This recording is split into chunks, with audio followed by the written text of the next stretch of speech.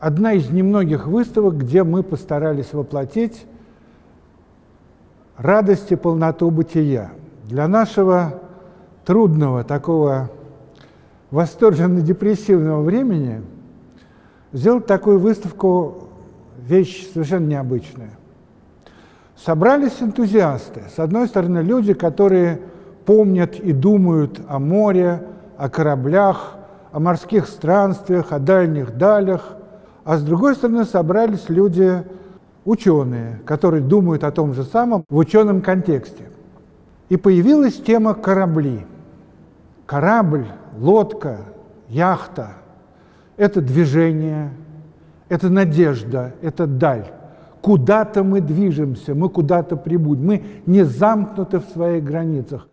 Понятие «корабль», которое само по себе имеет массу сакральных и бытовых, исторических – аллюзий, совпадений и намеков, и аллегорий, как на жизнь корабля. И объединили в залах работы, спроецировав ситуацию жизни пути корабля и человека, то, что может их объединять.